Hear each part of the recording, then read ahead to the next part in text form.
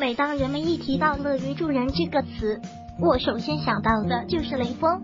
雷锋一个乐于助人好战士，为了人民奉献了他的一生。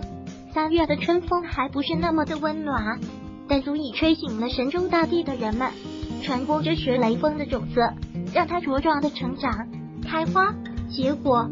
记忆中，每年到了这个时候，总是哼唱着学习雷锋，好榜样。小的时候，我总是将雷锋形象具体到雷锋一人身上。慢慢的长大了，我想学习雷锋其实就是学的雷锋身上的那种精神吧。是的，闭着眼想想，人与人之间，或许是一个甜甜的微笑，一句暖心的话语，一次普通的让座，都会让你成为别人心中的雷锋。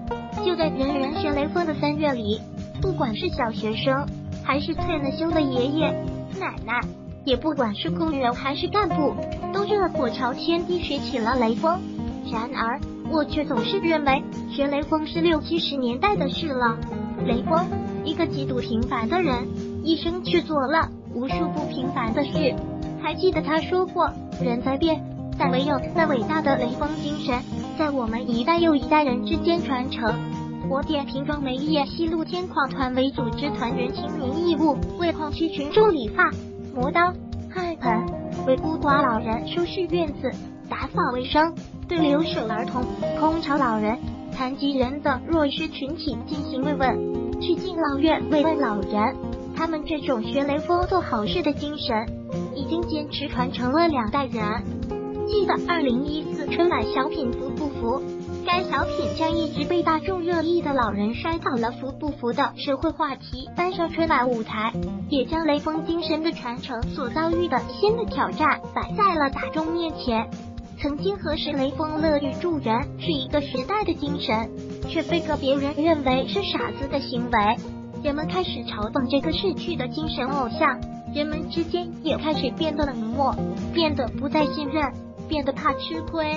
如果我们每个人都能坚持日夜操守，绝不作假；我们每个人都能与虚假谣言做斗争，正确的看待每一个事件。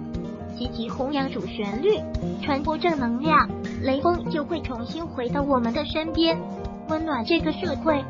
三月的和谐清风带来了春回大地的温暖，三月的细雨播撒着莹润如酥的甘甜，三月的鲜花氤氲出沁透人心的芬芳。每年的三月，总有一种精神，它伴随着春天的轻盈矫健的步伐，再一次融入我们的生活，带来了春暖的气息。它像春风，把日渐冷漠的亲情吹拂的阳光明媚；它像三月的细雨，在干裂的土壤中掀开露，滋润心田。它融化着一颗颗硬如坚冰的心灵。它就是雷锋精神。我们要像雷锋一样，做点积极健康的事，做点身边人认可的事，做点后代受益的事，才无愧于我们这个美好的时代。在我们的身边，有许多乐于助人的人。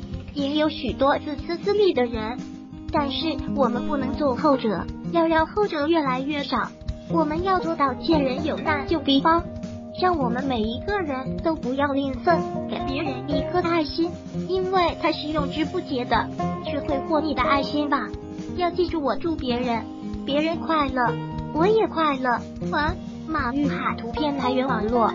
如果喜欢本视频。请分享并订阅本频道，访问 T T News X Y Z 获取更多相关资讯。